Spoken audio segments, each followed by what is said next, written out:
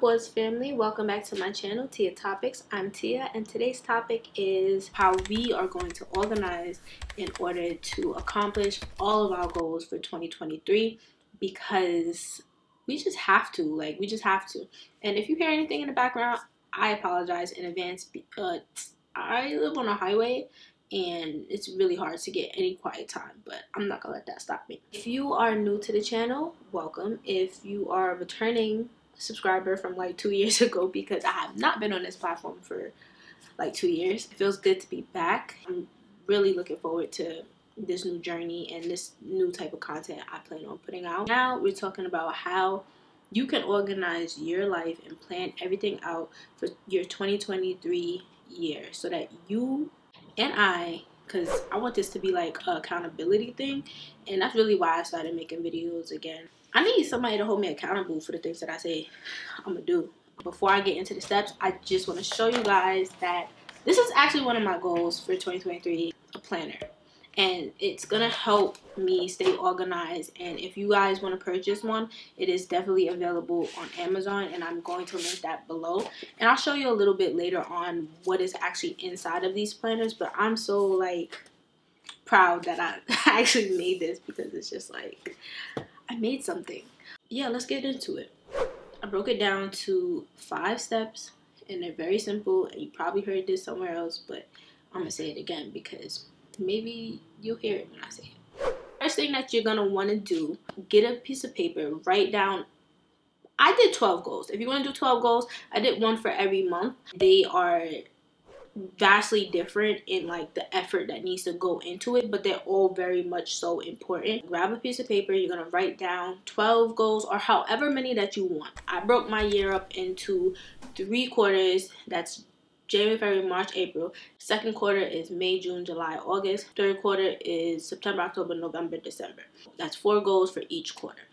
Do not write in any particular order. This is important. Do not write in any particular order because at this point, you want your mind to just flow. You want your goals to come to you how they want to come to you. You don't want to stop that that flow of, you know, the creation of what it is that's going through in your mind. That's step number one is to write it down and look at it every single day. The next thing you want to do after you have written down all your goals, you put it in order of what makes the most sense. So if something takes around eight months, you don't want to put that in your first quarter. It's not realistic for you to think that you're going to get it done in four months when really it takes eight. This is very important because this is going to keep your motivation up. Because if you are putting a goal that takes eight months in your first quarter and you don't get it done, you're going to hinder yourself because you're going to feel like you're not accomplishing your goals. You're going to get, you know, sad and all those nasty feelings. The third step in this process is going to be taking all of those goals that you wrote down. So for me, it's 12. Taking the 12 goals, you're going to put it on a separate piece of paper. Each having its own piece of paper. And on that paper, you're going to write down everything that you think that you need to do to get that goal done. You're going to do a little bit of research, not too much because this process is not supposed to take too long. You can do more research as time goes by and as you get more in depth with that one goal, but not right now. Right now, we're just writing out the outline in order for us to get it together. The fourth thing that you need to do is form it into a checklist. As you learn more about what it is that you're reaching for, you're going to learn more of the specifics of what it is that you need to do and what you need to get done. Something that you may have not thought about in the beginning, but now you're like, oh yeah, I definitely need to do this. So write the checklist out with what you have, but don't get discouraged if down the line, like there's more stuff that you need to add onto it because you didn't know everything going into writing this list. This is just to start you off so that you have a clear cut vision of what your future looks like. And that is so important. The only way anything is going to happen is if you have a vision, if you can see it, and practically if you could like put yourself in that situation and kind of like live in it, even if it hasn't happened yet in order of what it is that you need to do and what needs to be done first, second, third, fourth, fifth, sixth, seventh, whatever, whatever. And as you accomplish these things, you're going to check them off as you go. This is the most important part to keep revisiting and check it off as you go because that's going to keep your motivation up. That's going to keep you more willing to keep going and to and to just get it done because you're like, okay, I'm making leeway. When you're not checking in on your goals, you're gonna feel like you're stagnant. You're gonna feel like you're not accomplishing anything. It's so easy to overlook everything and how far you've actually come. So checking it off is the most important part. Going back in and checking it off.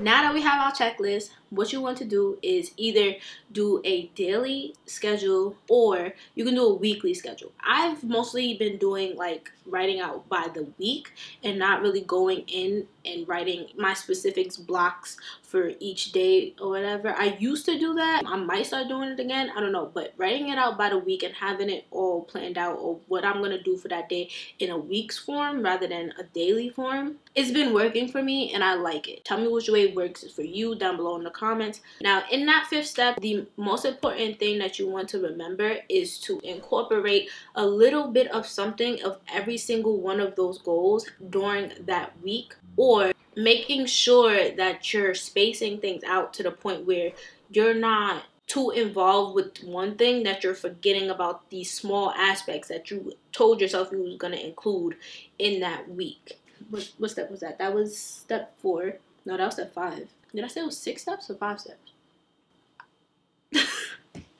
honestly organizing your year and organizing your life can be so simple it does not have to be as complicated as a lot of people make it out to be the simpler the better because you are going to be motivated to keep going. You have to make sure that you're showing up and you have to make sure that you're going in and you're looking at this book every single day. That's the only way that you're to feel motivated and keep going. And even when motivation is not enough, the fact that you're staying so consistent, that is going to like push you so far in helping you accomplish your goals. For me, I know when I'm accomplishing my goals, I'm not tired. Like I could go to sleep at one o'clock in the morning, wake up at five, and I'm not tired because I know I'm getting things done. Like I'm excited for life. Like when you're going in the right direction, you are excited for life. You keep going and you just don't stop because why would you stop? like you're you're making things happen. You're making the things that you said you wanted happen. So um those are the steps and now i want to show y'all a clip of what is in this book or actually no i'm just gonna show you because i don't want to go back and add a clip or whatever. I can't really show you this one because i've already started writing in this one and it has this not for sale come on focus. It has this not for resale across it because this is this was the proof that I ordered just so I made sure that everything was okay for when I published it but I love that it has that because it's so like authentic or whatever. Want to buy one? I will have the link down below for my Amazon link. I don't have a store yet because they said I'm not important enough to have a store. I don't have enough supporters or whatever.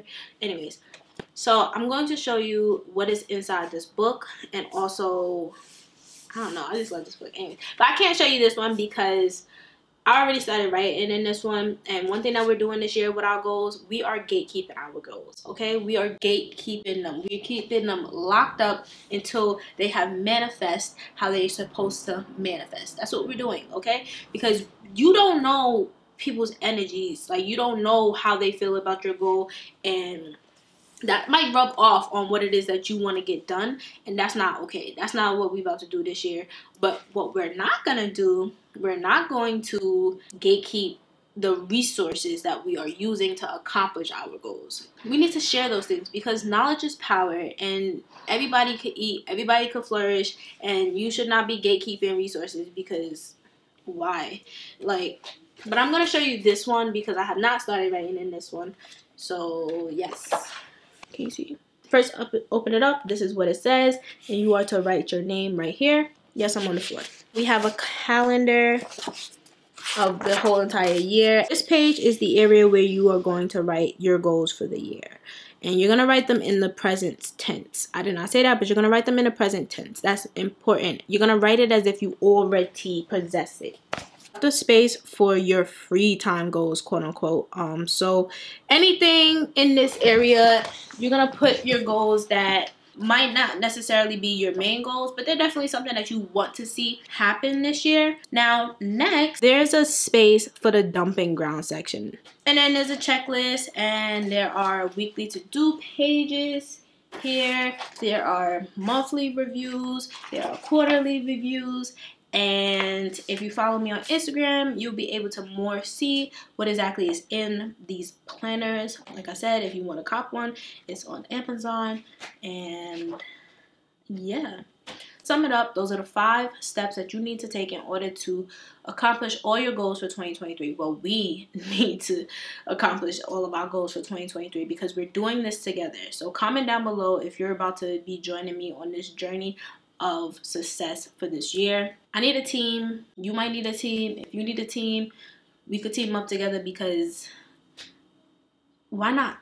yeah, so that's it. That's all I have to say. Follow me.